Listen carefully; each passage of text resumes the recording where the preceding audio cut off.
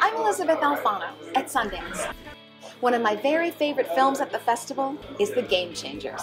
I'll be sitting down with Ultimate Fighter James Lightning Wilks, who, along with some other characters like incredible athlete and weightlifter Patrik Baboumian and anti poacher Damien Mander, to talk about the film and how they lay out in exquisite detail and break open the myth that meat is the protein you need. James, thanks for speaking with me today. Oh, yeah, thanks for having me. So, I saw The Game Changers, and it's just one of my very favorite films at the festival. Tell me about your entire journey from researching about going vegan and being sort of shocked about it, and then being angry about what you thought you knew. Right, well, I didn't go into it sort of, you know, with any preconceived notions or even looking into the vegan diet. I literally got injured, uh, tore both of my knees, had six months where I thought, what can I do with my time? started researching diet for optimal recovery and performance. And that's when I came across a study about the Roman gladiators. Uh, 68 skeletons that were analyzed, the only known burial site in the world. And I did a strontium calcium analysis and radioisotope analysis. And they could tell that they were in, eating almost exclusively plants. And um, that sort of blew my mind, thought that can't be true. And so, you know, spent all of this time, about a thousand hours in the first year, reading peer reviewed science on nutrition. And that's when I sort of unearthed. We've been really been led to believe this myth that we have to have meat in order to be healthy, in order to be strong, athletic, and other animal products as well. And um, it's just simply not true. And uh, that sort of set me on this journey, basically. And then the more I uncovered about how we'd been marketed to and lied to by the industry, that's when I realized, uh, you know, I just started getting quite angry about it because not only is it affecting people's performance, but more importantly, it's affecting people's health. And the leading chronic diseases, heart disease, cancer, diabetes, largely are impacted by what we eat. So it's, it's, it's pretty uh, aggravating. Along with director Louie Psihoyos, you make some excellent points about how a plant-based diet can actually reverse some of these trends, like colon cancer, diabetes, type 2 diabetes. Actually, it's, it's been shown, in, you know, for heart disease, for example, a plant-based diet and uh, controlled studies is the only clinical intervention that's been able to show reversal of heart disease um, and pretty quickly. Yeah, very quickly. There's been changes within, within a week or two. Under angiogram, you can see arteries actually opening up, and uh, that's never been shown with any drug or any other intervention. And then, uh, know, Dean Ornish went on to show the same with prostate cancer reversals, dropped in PSA levels, and they're now doing a study with Alzheimer's, and they believe um, they've got every reason to believe that that's going to uh, reduce and, and prevent that as well. So pretty incredible. I'm so interested to see those results when they come out. So, talk to me a little bit about the second myth. I mean, the first myth of meat, I think, is that you need animal protein, or specifically, you need meat to be strong. And then right behind that is you need milk for your bones. So, both of those are completely false. But there's also this myth that if you eat a lot of meat, you're a really manly man. Tell me about that and yeah. if that's false. I think the real men eat meat myth is sort of a really core underlying myth underneath all of this and uh, you know, eight out of ten vegetarians or vegans are female. Um, young men, especially 18 to 45 men, eat twice as much meat as women. Um, and they're just less likely to switch because it's really based on identity and this myth that we've been sold. Um, and not only is it not necessary, but the very foods that men think are making them more masculine are the exact foods that are weakening and killing more men than anything else. And so uh, it's it's not just a myth that where you know this industry is profiting, but that it's actually killing and weakening um, you know more people than anything else. And it really is the world's most dangerous myth. It's it's killing more people than anything else, and it's also affecting our planet in, in a very negative way. So we're going to get to animals and the planet in a second for sure. But I think it's also interesting to note you're saying that there's a myth about a manly man eats a lot of meat, but very directly in the film you say that it actually decreases sexual desire, performance, etc., which I think is very interesting. Yeah, we actually did an experiment with um, Dr. Aaron Spitz, who's the lead delegate for urology for the American Medical Association. And uh, we'd already done an experiment with the Miami Dolphin showing how you could reduce blood for two to eight uh, blood flow for two to eight hours if you ate an animal-based meal. And, um, and so when I met Dr. Spitz, I said, would this affect sexual performance? He said, absolutely. Not only do men have increased prostate cancer risk the more animal foods they eat, um, but also the, the blood flow to their penis, one of the smallest, some of the smallest arteries in the body. And so we did an experiment with some college athletes, um, or Dr. Spitz did, and we, we documented that. And there was significant changes to um, circumference and rigidity of erections and the duration of erections as well, simply based on a single meal, and that can last for two to eight hours. And of course, what do you do? Um, after two, eight, you know, six hours or so, you eat again. So you're in this constant state of um, what's called endothelial dysfunction, which is also leads to erectile dysfunction. So I would argue here, men are always saying, "Oh, well, my wife doesn't want to sleep with me, and my wife doesn't want to have sex." But I would turn that around, and I would wonder if it's really the men who are slowing up in this department. So uh, you want to help your sex life? Go eat some plants. Uh, let me talk to you about one final thing before I bring in some of your colleagues who are also in the film. So you're taking the meat industry pretty head on here, and you're and the milk dairy industry, and you're saying flat out that this is a marketing scheme. Do you expect some backlash, or have you had some already? Oh, I think there's going to be some backlash for sure. Oh, yeah, we're in it. We're ready. and um, yeah, I mean anything that's going to negatively impact their, their profits, you know. And as we show in the film, they, they, they hire these sort of scientists for hire to generate false and misleading statements to lead to confusion so that people aren't consumed. You know, butter's good for you one day, it's not the next. Um, and so basically, I think the meat industry is going to, to create their own campaigns to try and smear the information that we've put. But we know we have the science. I interviewed department chairs at Oxford and Yale and Harvard, and, and the consensus between all of these experts, they might have slightly different views on exactly what we should be eating, but they all agree that it should be a plant based predominant diet, and, and the facts and the science back us up. Because, of course, animals eat plants. And so all you're doing is taking the animal out of the equation. The animals get all of their nutrients from plants, calcium, etc. It all comes from greens. Yeah, exactly. And, and the protein, all protein originates in plants. Animals don't make uh, that protein. And so they're just the middlemen. And they're a very inefficient middleman. So not only are we to take a lot more calories in to get a calorie out, but the protein, you can get, you know, all the uh, amino acids that you need from uh, from eating plants, and there's this sort of notion that plant protein is can incomplete. But as long as you're eating a wide variety of plant foods and, and, and enough food, um, and you're getting enough protein, the science is very clear that the source is actually irrelevant in terms of getting those amino acids. And then there's benefits to plant-based eating, particularly around inflammation and in the blood flow. That's uh, better oxygen, better nutrients to the muscles, and then in terms of you know, muscles and joints, less uh, inflammation. So faster recovery, back to training sooner, and uh, that next training session is actually more productive. So leading to measurable and significant advantages in athletic performance. So let's talk to your trainer. Lou is here, and he can kind of sneak in. So we're gonna uh, we're on a tiny couch here today at Sundance. It's pretty busy. So uh, let's talk to Lou, and I'm going to ask you a very indiscreet question. How old are you, sir? I'm 61 years old. Oh, right. So uh, tell me about your daily workout at 61. And you're a vegan. I'm vegan. Okay. Tell me about your daily workout. Uh, my daily workout is a variety of things that I normally do, but I start off with the morning about five o'clock in the morning, sometimes 4:30. And what I do is I start off doing like the cardio concept, rowing machine, stairs, or even the bike, and then I start doing things like um, uh, high intensity training with the kettlebells, club bells, and a rope that we call the whip. So I go through all those things uh, at least uh, twice a week, and then I start doing uh, just regular strength training, uh, where I'm just doing regular weightlifting with dumbbells. But usually I work out about five days a week, between 45 minutes to an hour and 15 minutes. And I just try not to take so much rest, and I try to be real uh, consistent at what I do. So I try not to miss time working out. Now, since I've been here, I, I missed a couple days. Yeah, I can't find it really tough to get. Oh, to Sundance, you're trouble. yes, yes. But that's basically what I do. I do a lot of core training, a lot of functional strength training, uh, a lot of uh, uh, Tabata training. So my training is always moving, moving, moving. There's not much rest in between. So my metabolism, when I get it up, it's always burning. I'm always burning fat. I'm always produce, producing uh, growth hormone. That's what I'm trying to produce with hardly uh, taking any rest in between. And that's what uh, is the most important thing that I'm trying to do. And when you do this hour workout, you might have, I think in the movie you were talking about 800 reps at some point. I want to make sure I get that right. But tell me specifically about what you'll do in an hour. Like what kind of reps and what kind of weight?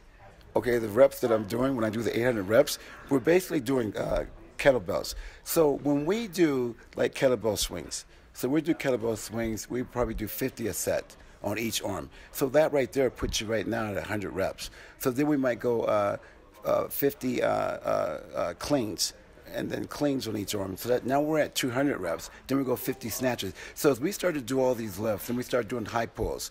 Then we start doing uh, clean and jerk. Uh, with, with the kettlebells. Then we start doing, we do those individually. Then we start doing a complex. We do them all together in one set. So we, we make a combination of all of those together. So now you're talking about if we're doing, uh, say, 25 of each.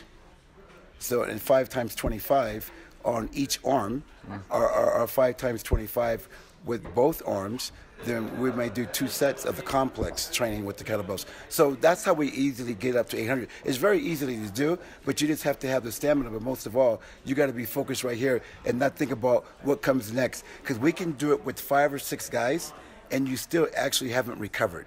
It's that intense when you do it. Mm. So you need to really focus and not think about, oh, that's a lot of reps. That's not important. What's important is, uh, can you really uh, control your recovery. Get control of your recovery, your breathing, your relaxation. That way you can really uh, get into the workout again when it comes to you because it comes very quickly if you got three or four guys. And that's where the nutrition really comes in as well. Is if you're eating the right foods, you're going to have better blood flow. You're getting better oxygen, better nutrients to the muscles, and that allows you to recover quicker, not just between sets, but also after the next day, less sore, less delayed onset muscle soreness.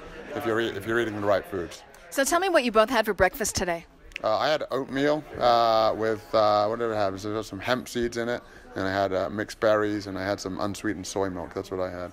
I had tempeh with avocado, and I had lentil soup.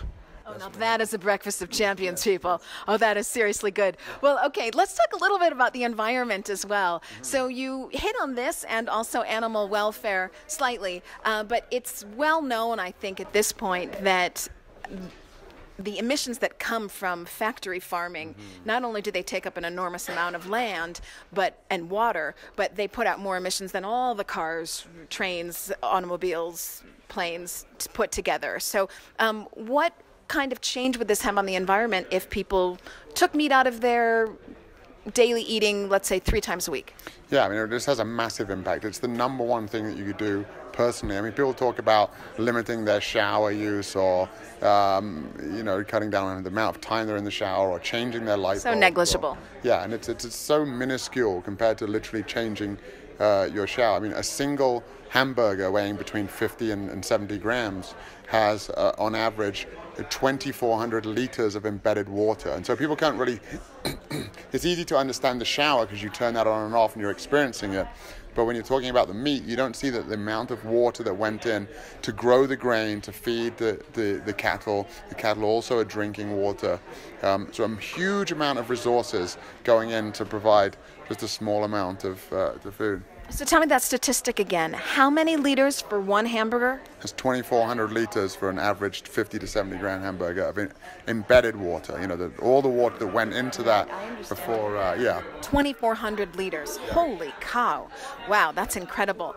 Um, so obviously this has a great environmental impact, but also it has an impact for animals. So we were going to talk to someone who's uh, right coming in. You see, it's just a mess at, at Sundance. It's madness all the way around. He's going to come join us. So, uh, Damien Mander, thanks for thanks for hopping in, literally, um, at this very loud, noisy place here at Sundance. Um, so I wanted to talk to you about the animal aspect here. So I'm I've been vegan now for two years. Well, one year really. I went pescatarian and then vegan for a solid year, and I die hard and would never go back. And I originally got into it for the animals. Um, tell me how you got into being vegan and why it's important to you. So, I mean, my background, I was special operations, spent a bunch of years in. Uh, in Iraq and then finished up, you know, for a lot of guys that finish up in that sort of environment, the the battle doesn't start until the bullets stop and you're trying to reintegrate back into society. And, you know, I you know, went downhill pretty quick. Spent a year in South America doing too much drugs and alcohol, trying to figure out, you know, there's no job for a sniper in the, in the local newspaper when you get back home. Uh, really? No, there's not actually. Uh, got my shit together and got a one-way ticket to Africa. Uh, went there for a bit of an adventure. This is where you're from originally, right? Don't I hear? Come on. Oh, sorry. I thought I heard South African in there. Okay, Aussie. Right. All right. Okay, big drinker. Yes, there you go. Teasing. Um, you know, so just uh, and I went over there. For, I didn't I didn't join the military to serve my country. I did it for adventure. I didn't go to uh, Iraq to help the situation. I went there for money, and I didn't come to Africa looking for a, a, cause. I went looking for a fight. You know, but a couple of things happened to me when I was over there. I was looking at um, you know the hard work that these rangers were doing out there on the front lines, and, and seeing the animals that were being protected. You know, so I, you know decided to put some shitty skills to, to what I think is a better use, and that was protecting animals. And uh, but you know, I walked around in the bush for four years protecting one group of animals and coming home and eating eating another group of animals. And you know, conservation can't be a nine to five job. You know, you're either in or you're out. Uh, you know, if, I mean, conservationists get involved with conservation because one, they either love animals, or two, they love the environment, or a combination of the two. So you know, I couldn't I couldn't do that nine to five and and uh, you know come home and then forget about you know my obligations as a person that that you know I, am an animal lover you know but not not I, I, don't select different species that I choose to love. It's across the board because uh, the only difference in the capacity for each animal to suffer is the difference we have in our own minds. That's right. And I would agree with that. I'm an animal lover as well. And as much as I love rhinos and elephants, which is primarily what you protect, and I do, and I've been to Africa and, and I just got back from Asia doing some work on uh, Asian elephant conservation. But, but um, nothing compares to the numbers that are affected by factory farming around the world. True. Uh, you know, I mean, you know, I, I, I, we have to be out there on the front lines, you know, with weapons out there to protect animals. Uh, so, what do you do exactly? I can't, I can't give that sort of information. Oh, gosh, it's juicy. We, we, run, we run an organisation, the International Anti-Poaching Foundation, which I founded, now registered in five countries, working through Southern and East Africa. So we're the last line of defence for animals out there, like elephant and rhino, that are being targeted by paramilitary forces uh, for their horn. In the case of the rhino, going for now forty thousand dollars a pound and, uh, and, and ivory from elephants. Uh, so we're out there providing that, that last line of, of uh, protection for them. So you literally take out poachers. You literally shoot poachers on site. Is that accurate? Look, we, um, you know, we're in a conflict situation, and sometimes things do uh, escalate, uh, you know, into into you know, situations that we try and avoid. You know, what, what we try and do is train rangers to a certain level so they're able to take charge of a situation before it gets out of control. But um, you know, getting back to your question before, you know, we, I mean, we, we have to have armed people out there on the front lines, men and women, and uh, you know that's what we have to do to protect animals. But the actual, the easiest way to protect an animal, don't stick it in your mouth. You know, and that, that links back to that factory farming thing. You know, the the biggest decisions we can make in our life and for this planet, for our civilization, for our generation, starts on the dinner table. That's actually right, and I think we have to ask ourselves. So this one simple change in our life, food, can affect the environment, our health, which means our health costs, which is this topic we're all talking about right now, and the animals and how animals and the planet and people all interrelate. We all live together in the same place, so we have to get along.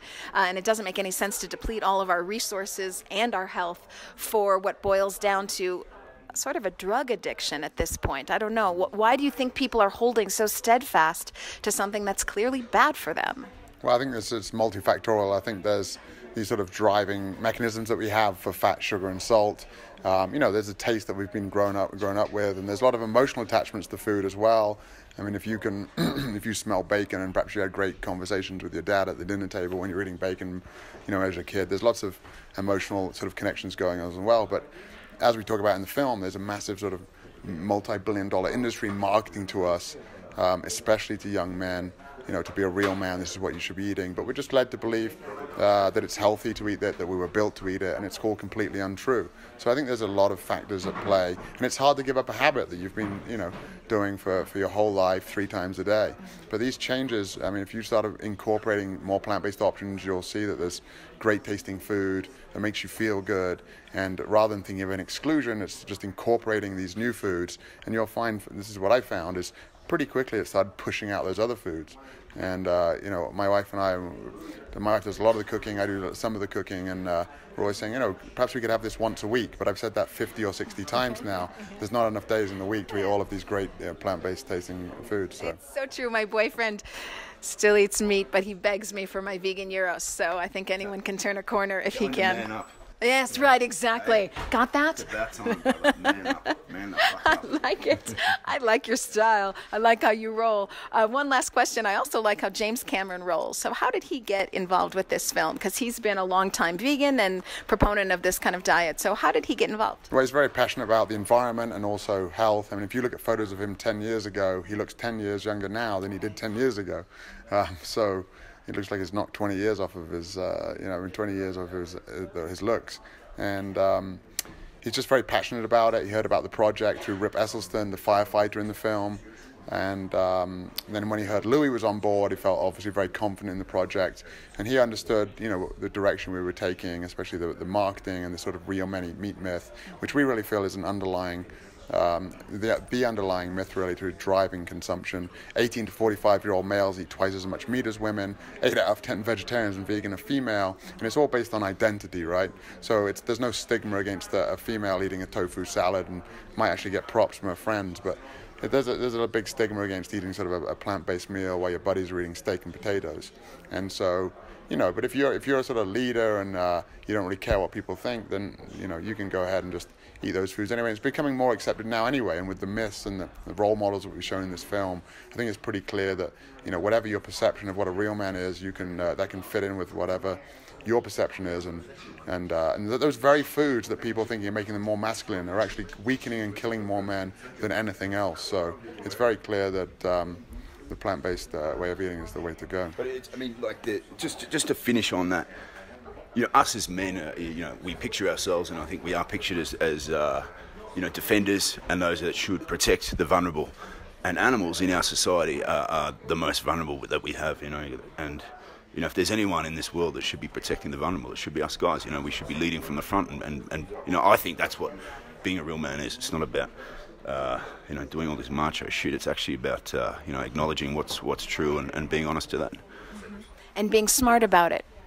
Yeah, I mean, I mean, like for me, you know, I'm I'm not into this because of uh, the sports side or the training side, obviously. Um, you know, for me, it's an ethical decision. You know, I just I don't want to I don't want to fuck with something that, that can't defend itself. You know, why, why would you want to do that? Why would you want to do that? Yes, I completely agree. Patrik just showed up as well. If you've got time on. Okay. Uh, how are we on time? Patrik, come on in for one quick question. One quick question, and then we gotta go. hey, vegan badass! I love your shirt. Uh, thanks for joining at the last minute. Yeah, yeah. I, I had some problem, problems getting through the snow, but no, I'm here. We're all here. One quick question for you. Tell me what is the most that you have ever lifted mm-hmm. and why you think you can do that. well, uh, the most I ever lifted over my head would be a 200 kilo uh, log, which is.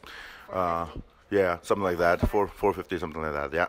Um, and uh, the, the most weight I ever moved was a fire engine that was 22 metric tons. a fire engine? Uh, yeah, you, you're pulling it like a horse. So, so it, you got it on your back and you just walk with it. How is that physically possible? Uh, well, um, we, we train for that. So, so the sport that I'm doing is, is called strongman, and we, we, we train. Uh, you, you have to have a lot of training um, before you do stuff like that. But um, and and of course I, have the advantage uh, because of my diet uh, that uh, it helps me uh, being able to compete against guys who are much bigger than I am. I'm, I'm not very tall, and most of the strongmen are much taller than I am. Uh, but um, I'm recovering very fast because of my diet and everything. So that gives me the edge to be able to kick some ass against those guys. So, if you want to see a bunch of manly men, and if you want to educate yourself about what's actually good for you and what's good for the planet, and as men taking care of the planet, then you'll want to see the game changers. Everybody, thanks for speaking with me. Awesome. Thanks so much for having us. Thank you.